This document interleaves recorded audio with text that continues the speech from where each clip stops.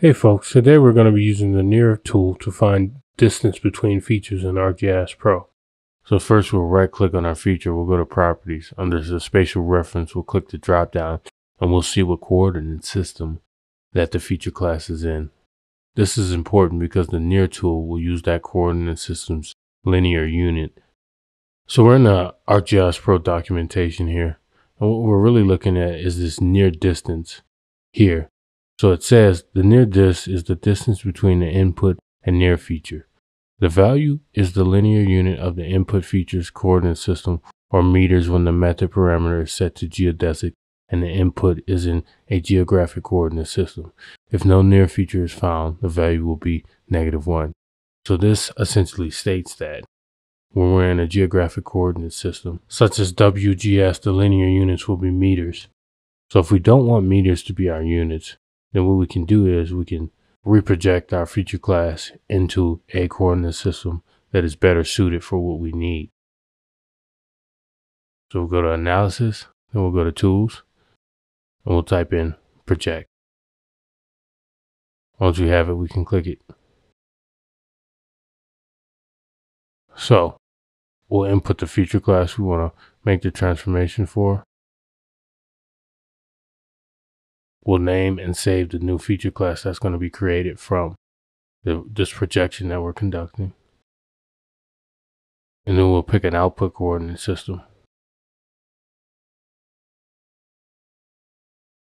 So I happen to know the coordinate system that I'm looking for.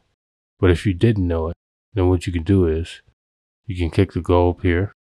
This will open up a dialog box where you can use the search bar here, search for your coordinate system, or you can use the drop down and manually look through the list.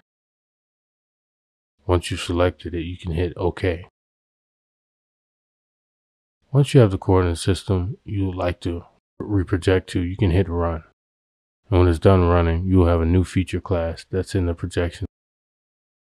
Just to check, I would open up the properties and see if the new feature class is in fact and what linear unit you have. We can see here that our linear unit is feet. U.S. survey feet. We can close this out.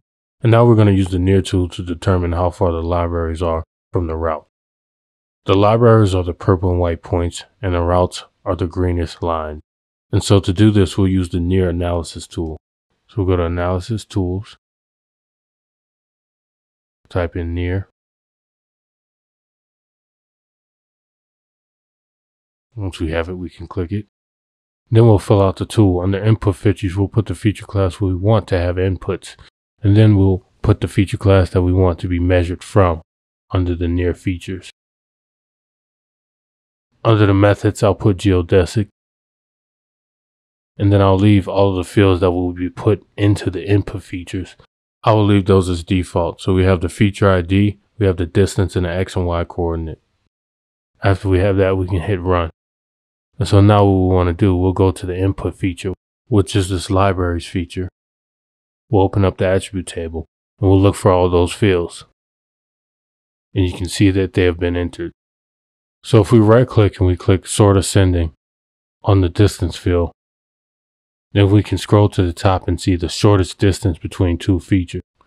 And this happens at this point or library here, in which the library is 675-ish feet from a route. So you'll want to verify this. So what we'll do, we'll hit the measure tool. We'll change it to geodesic. Then we'll change it to our units, which were US feet. And so we'll do our best to measure from the library to the routes and see if we get a number that's comparable. And yes, we do. So this tells us that our process was performed correctly. You want to do this for a few points just to verify. And once you've verified, congratulations, you've performed near analysis. If this video was helpful, please like, subscribe, and hit the notification bell for more content. Thanks.